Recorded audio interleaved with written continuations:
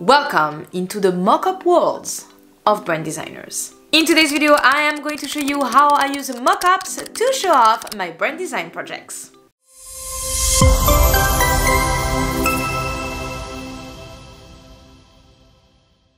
So what will you get watching this? One, you will learn how to find free and paid mockups.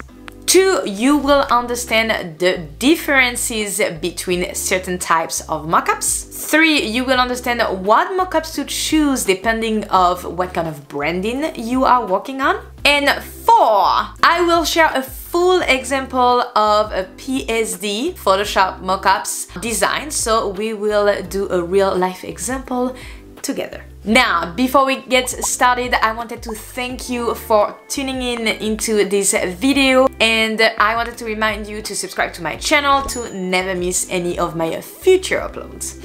Alright, now let's get started. So, where to find mockups. My go-to paid mockup are from Envato Elements. I have a yearly subscription with them and I love every single one of their resources. They are providing a lot of different mockups, fonts, illustration, everything you can think of for graphic design and they also do have a free section that you can check out. Most of my mockups that you see on Instagram come from them, if it's not all of them actually. So my second choice to find mockups mockups is Adobe Stock. They have a large variety of free mockups, so I invite you to check them out. You will also find mockups in places like graphicburger.com and rawpixel.com. I will obviously link all of those in the description down below. Also, you guys, I love discovering new places to source mockups or other graphic design assets, so please, if you do know somewhere I haven't, you know, talked about, please share with us in the comment section down below. Now, you might wonder, if there different types of mockups? The answer is yes.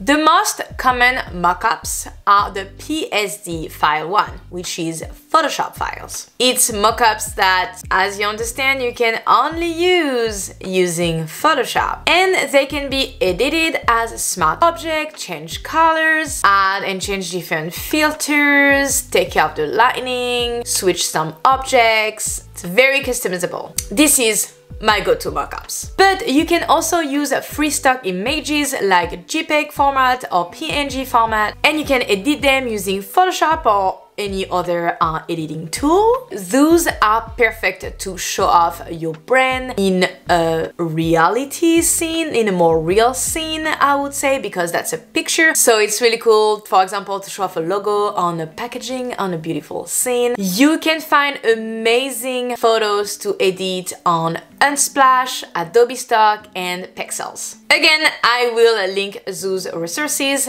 in the description down below. Okay, so last but not least is Adobe Dimension. I have seen myself using Adobe Dimension to create my own mockups. Adobe Dimension is a 3D program and it's very easy to use. I have an entire video dedicated to this program. I will link it in the description down below or I think you will see a card coming up right here or right there, who knows. But yes, if you want to check it out, you can. I have I think two videos dedicated to Adobe Dimension, one about Adobe Capture and how you make your own materials and another one on how to create a complete scene. This option is perfect if you are looking to create your own thing and you cannot find any mockups that relate to the brand that you're creating and you need something new to show off your brand, Adobe Dimensions is the way to go. Okay, so now how to know what mockup to choose when presenting your brand design projects? Well, first use the mockup format you are going to be the most comfortable working with. I love PSD file because I think this is easy to make your design in Adobe Illustrator and then dragging and dropping it into Photoshop. Choose the method that makes you happy. Now, my next advice is to always choose a mockup that is related with the product or the services that the brand you are working on is related to. Does that make sense? For example, if I'm showing off a brand about frozen yogurt, I'm going to try to find mockups about ice cream, napkins, everything that is related to uh, the yogurt and that's going to remind of the yogurt. If I am showing off a surfboard brand, I'm going to try to find surfboard or any sea vibe related mockups. All of those little details about the mockup that you're going to choose is going to bring the brand that you're trying to show off to life. Alright, now comes the fun part. I'm going to show you how I use mockups to show off the brand design called Kendoza. They are a candle brand. So let's try to find mockups that are related to the candle world. Okay, let's get started. Okay, so we are installed, we are good, we are in Envato Elements, and we are going to look for mockups. I'm going to show you what I researched, so I will do candle, candle mockups, and see what we can come up with. I always go into the graphic templates, but I kind of wanted to show you something. There's a really good paid option for those, and as, as you can see, I was talking about, about JPEG and PNG, seeing that you can, you know, mock up yourself. Those are pretty nice. So you could use one of these. The tag is already white and you can go into Photoshop and uh, you know add your tag right here with distortion and all of that so it is possible to use those as mockup as well but we are going to go into graphic templates and let's do one together Okay, so here we are in Photoshop and let me explain to you quick what I do, how is it working out and all of that. So I chose this mockup right here. So we have a candle and the candle packaging. I think that was really cool.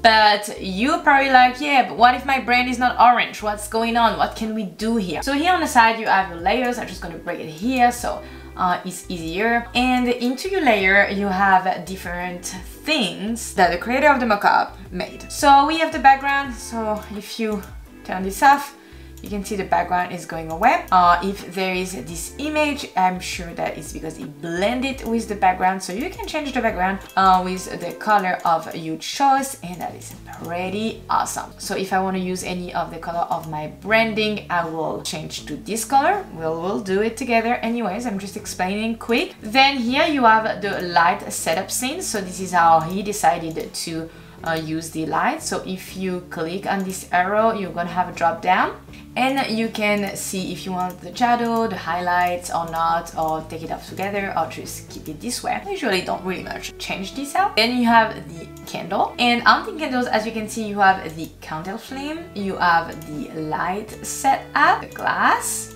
okay? You don't have to touch any of those settings. Then you have the design. And as you can see right here it said add your design. So you'll know that you can add your design right here. That's a smart object. So if you double click on it it's going to bring you to another window. And right here you will be able to add the design of your choice. If you go back to this window you can see that you have colors here. So you can change the color of your candle. You're gonna do the same for the packaging. So you see paper box, it says add your design 1 and add your design 2. So design 1 is the one on the top of the box. You can see if you check and uncheck the eye right here. And design 2 is the front of the box. So you'll be able to just double click. It will bring you here and you will make your design, drop it here. You can make your design directly on Photoshop you can make it as I do in Adobe Illustrator and then copy and paste on Adobe Photoshop. Alright, so we are going to make this design, dropping it